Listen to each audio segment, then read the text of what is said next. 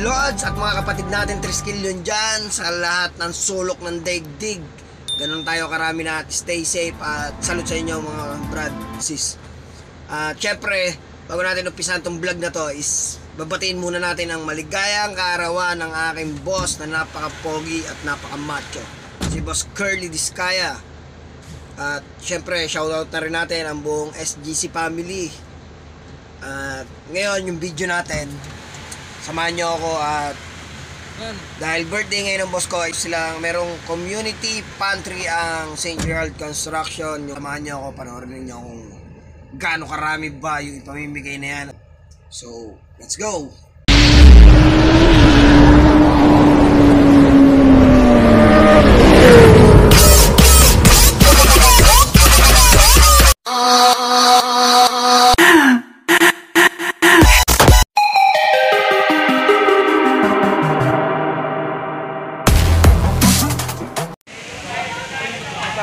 Hi, Dan! Eh, mga idol natin, syempre. Diba? Yun, ayun po. Ayan naman kung gaano kabait ang boss namin dito. Ayan, St. Gerald Construction. Ayan. Dahil birthday, yan. Ang share ng blessing. Ang aming boss. Pasok po kayo, pasok. Pasok mga kasuki. Ilan? Ilan, ilan, ilan, ilan? Dalawang dasa ako? Oh my God!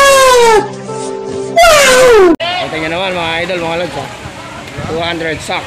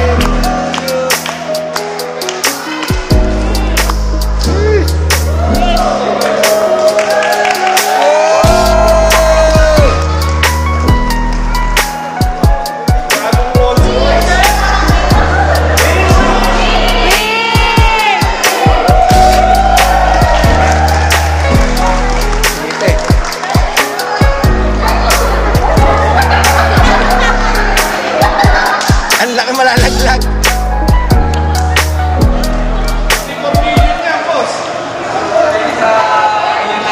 Yan.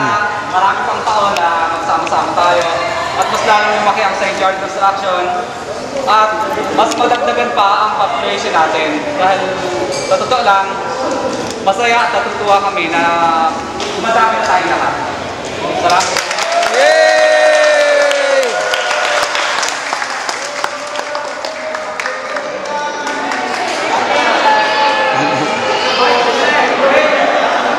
Walang uwi ha, kasi Wow!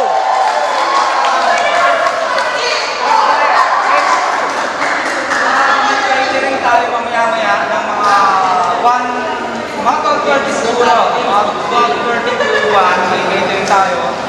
May kain tayo, tapos nasa puti naman. Ah, social distance lang ang kapiraso. At may panate. Okay. Samahan niyo kami and celebrate tonight. Yay! Oh, palakpakan na.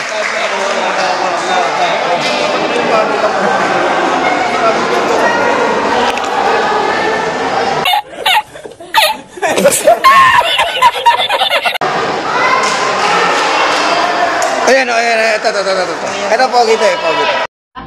Paano masabi? Yun. Ano masasabi mo? Ano masasabi mo sa pinaggagawa mo? Hindi ka pinawisan. Driver ako. Ah, driver ka.